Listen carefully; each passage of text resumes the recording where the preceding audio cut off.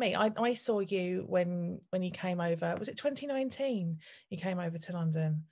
It seems Yeah, like a whole was. other world, doesn't it? I think it Um, was 2018 or 2019 or both. We first played London, and 2019 was the last time at um stu- the studio place, 92, 94. Right. Yeah. No, you've been over twice, haven't you? It kind of seemed to me like you went from from being quite a new band that had just formed and there was a bit of buzz about you to to kind of being this band that was doing this enormous international tour. Yeah, uh, I think it definitely was a bit of a head fuck, like because we hadn't really toured that much and we hadn't done anything, and then you know, thanks to King Gizzard and also like yeah, um, the Great Escape and stuff, like we ended up going overseas and touring for a bit and getting a taste of it. And yeah, I guess compared to other bands, like we have uh, kind of it's kind of popped off uh, relatively quickly, which it can be confusing, but I guess at the same time, it's all we know as a band, I suppose. Hey, Dec. Yeah, absolutely. It's just how everything's been from gig to gig. Each time it's bigger, bigger venue. So it just seems pretty natural and slow to me, really. You've you've kind of developed as a band as you've been kind of gigging, which I, I always think is like the the best way for for a band to to develop. Um, agree with that. Yeah, hundred percent. Because yeah, we we like we pretty much just started the band so we could play in in our friends like house shows or house parties or whatever, and then and then we just ended up playing heaps and heaps of gigs. So like you know, for example, Declan like he had never really had a guitar lesson, and that's why all the songs at the start are so simple. But then he really he's really just come a long way, like self-taught. He used to like look up on YouTube like how to play guitar and stuff, and then just naturally, I suppose, like playing um playing, uh, which I also really like the charm of not knowing how to do stuff. But um, I think, yeah, just like naturally when you play your craft a lot, you just get a little bit better at it. Yeah, definitely. Oh, that that's really inspiring to to hear, Declan. I, I hope that's that was okay. to- Oh to man, I used to be really, really bad at guitar. I was actually thinking about it yesterday. One of the best moments of my time in the band off stage was when one day when I showed Amy what I could do. One day, I, she got home from work and I was just like, "Look what I can do!" I couldn't believe it. It was weird. Tell Yeah. her the story about when you played at Chopped. Where? Well, Vomited everywhere. No, no, when you, you you didn't have your guitar plugged in or whatever. Oh yeah, yeah, yeah, yeah, yeah. Okay. um, yeah, I, I just, I just didn't know. I just had like a guitar pedal, and I didn't know how to dial in an amp or anything. I didn't know anything about them, and I just plugged it in, and the guy was like, "Oh, like, what the hell? Like, what's wrong with this thing?" I was like, "I don't know. I just always have it like this." It was really broken. I think it had like something loose in there, but I didn't know how to dial the amp, and so I just played the whole set clean because he oh. was scared of me damaging his amp. So it would have sounded so stupid. And I just had a flanger pedal that made lots of whooshing noises. And then, yeah, after that, pinheads came up to me. They watched us and they were like, What was with your guitar? I was like, I don't know what I'm doing really. And then Amy did like four shots of vodka or something. Need to be added in. Okay. Um, so in, in terms of, of writing, how how does that work? Like, What's the kind of the band's dynamics? Do you kind of all get together and write together, or Amy, do you do you bring stuff to to the boys and say play that? It's pretty together, like pretty chaos. Like we'll all just yeah get together, and someone will be like, "Oh, I got a guitar riff," and they'll be like, "Sweet, we'll just work on that for a while," and then I'll just try and think of some lyrics for it, and just kind of it's really organic and natural, and just kind of um express. It's just pretty much expression, but we also think about it a bit beforehand. Like I'll kind of be doodling lyrics all the time and stuff. So What about you, Dec? Um, do do you write just just guitar parts, or do you come up with words as well? Um, no, I don't. Nah, A- Amy does all the words. I, um, nah, uh, that would be a bad idea. um, yeah, just guitar parts. I get the im- the impression that that Amy is the boss. is is that a Where do you get that? From? representation? Yeah, that's true. Amy's the boss, and then I'm the secret boss underneath. Amy, Amy, tells, Amy tells everyone what to do, and then I go, "Don't do that. Don't, don't do that. No, just do what I say." Yeah, You're managing right? words. yeah, yeah, yeah. That's stupid. Just don't play that note there. Don't. That's stupid. Don't listen to Amy. have, you managed to to kind of still feel that you're kind of in in charge of what you're doing and in charge of your music and and stuff as as your career has has kind of moved up, up a step as well as you've kind of signed to labels and you've got agents and stuff involved? I feel like with the music i definitely still feel like i can just express myself in any way and that it's very much so within my control. Um, but i think the hardest thing is just like you know when there's people in between you and and the uh, the world it's like you can miss out on opportunities that you'd sometimes say yes to just because you know, like people have different things in mind or whatever, um, if that makes sense. Like, you know, for example, just say this is a made up scenario, but just say there's like a radio in Russia that has like eight listeners and they ask for a track. It's like, I personally would be like, fuck, and that's the sickest thing ever. Whereas, like, but if that was sent to an email, they'd probably go to the spam and never get seen again. Um, if that makes sense. But it's sometimes feels like super out of our control because, in a way, it's like our band is so big and oh, well from my perspective it's so big like i'm sure lots of people would think we're very much so still small but from where i'm sitting i feel like we're pretty big and um, to me that feels like well this is pretty i don't know like what's going on but i want to know what's going on had, had that been a plan then is, is this kind of this success is that a, a surprise to you or had you kind of sat down at some point at the beginning and gone, right, we want to tour the world. We want to get signed to a label. We want to play all these big festivals. Or have you just kind of progressed as as you've gone on? I think like uh not really. The idea at the beginning wasn't to do that, but once it sort of became sort of like apparent to us that we could do that, like we could be on a label.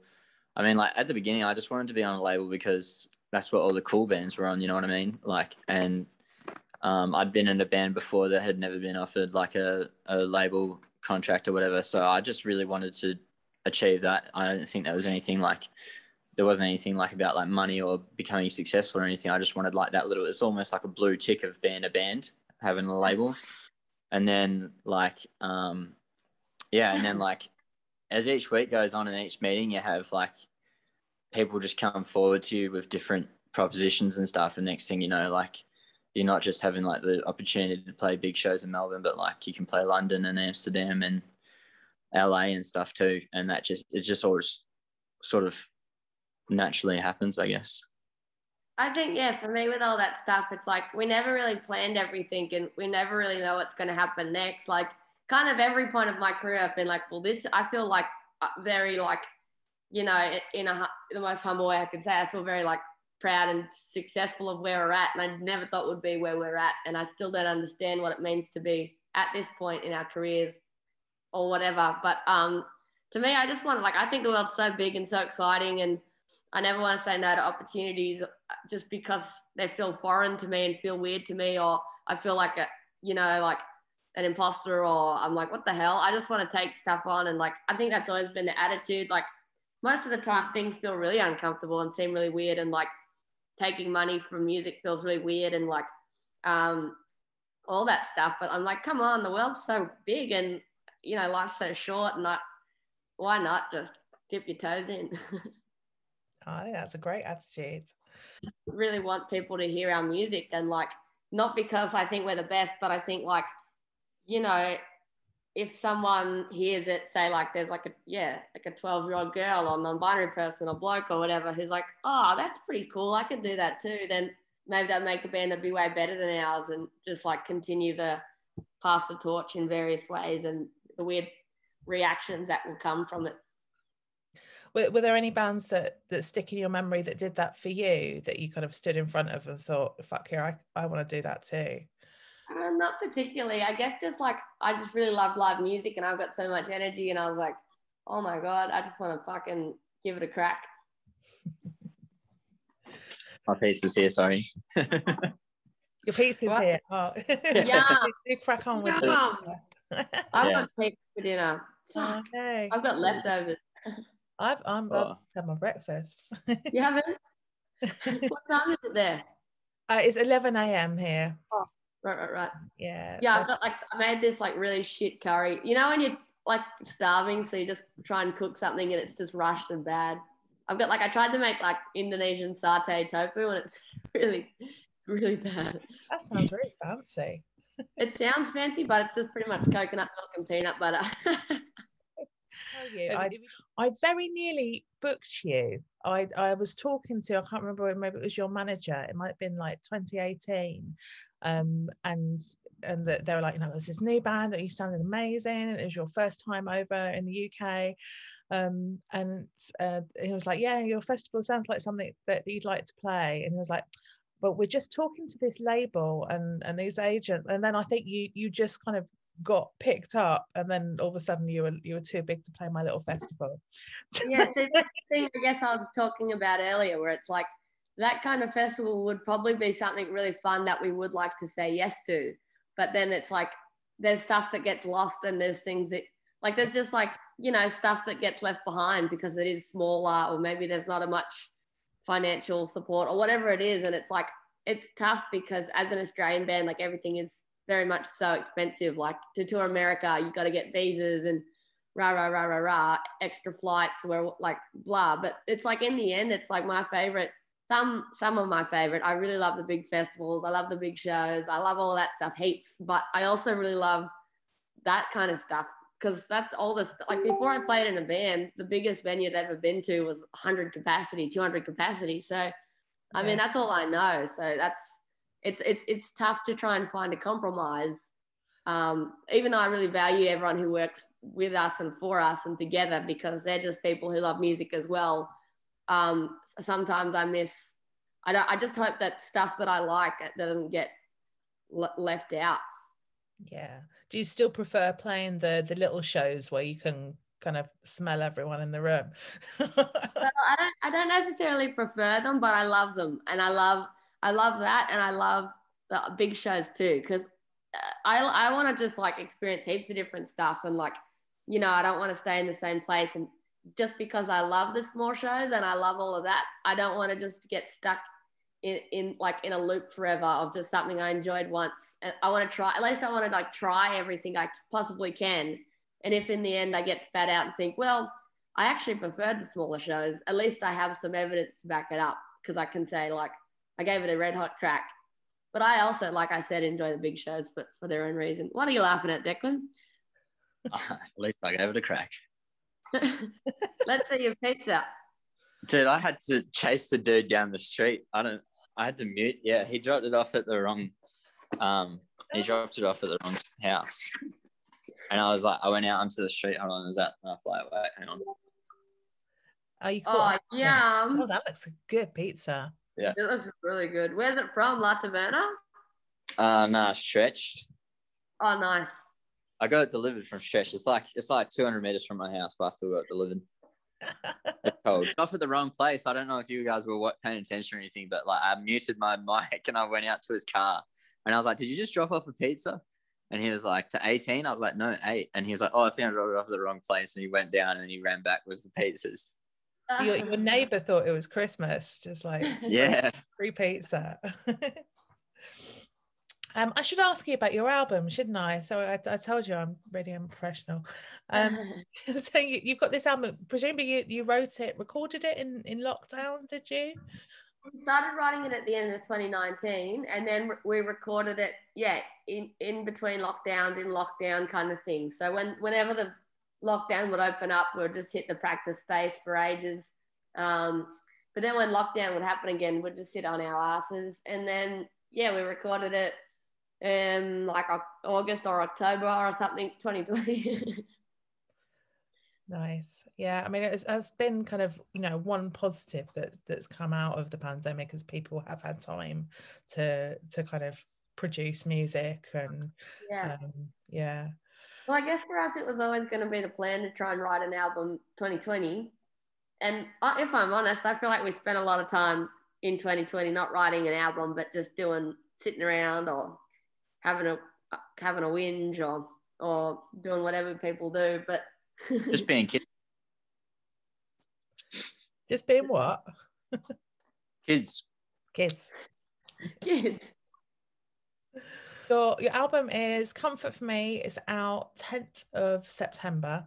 I've got the track listing here. I haven't heard it yet. Um, I've heard "Guided by Angels," which I I absolutely love. I love that video so much as well. Was Oh, that loads of fun to to make? Yeah, it was heaps of fun, eh? It was really fun. It was freezing cold on the beach day, and it was it was fucking awesome because it just got ice cold and finally felt alive for a second. And um, yeah, that that was my car on the highway, and we just literally stuck our heads out the window and just went for it. And good old Bryce was driving, really hungover, so I, I don't know how the, the guys just seem so kind of poker face um, while you're just like going mental shadow boxing just all over the place and they're just like Huge jokes cracked. I don't know, like John, who made the video from PHC, he just was like, I just want you guys to talk to each other in the background. So, I mean, you know, it was long days almost, like, you know, um, so sort of took the whole day and eventually we sort of ran out of things to talk to each other about. And so, yeah, I guess maybe the boredom wasn't acting. it just was like expressions because we just, you know, I don't know. yeah just boredom Yeah. We're used to Amy being chaotic around us anyway. So, I'm just gonna get my computer charger. I'm just gonna pause my video for a second. One Okay. second. And you can ask me some questions. yeah what, what's um, what's what's the best track on the album then as far as you're concerned Zach? Um, I reckon "Don't Need a Cunt Like You to Love Me." that's that's the best title i love titles with brackets in anyway but that, that's a, Yeah, they're good, aren't they? I like bracket titles too. yeah more I like brackets that song too, eh? Amy likes it. It's just very straightforward rock and roll. It's just like twelve bars, rock and roll fast, and then um, a solo in the middle, and then yeah, just I don't know. That's it. All matter of fact, and gets the message across. I think it's the most most backing vocals on the album too, which was fun. Yeah, because I, I was like, "Oh, I can't think of any lyrics for it, and I was like, oh, the boys should sing it. And so the lyrics are, um, "Don't need a cunt like you to love me. Don't need a cunt like you to love me. She's ten out of ten. You say so. You think you can fuck with her? Hell no." okay this is my new favorite song already is that going to be the next single do you think Mm. It's not, but um, I want to make a video for it. I think it'll be fucking fun. Also, it's really short, and I love songs under like two minutes. Yeah, yeah definitely no messing about um you you talked about a bit about you your kind of influences kind of rock and roll you know rap as well and kind of the hardcore scene and stuff i i would like to know what bands you really hate though what's um what what's like what would be the the most insulting bands to be um compared to if someone said oh yeah they sound like queen or Maybe whatever.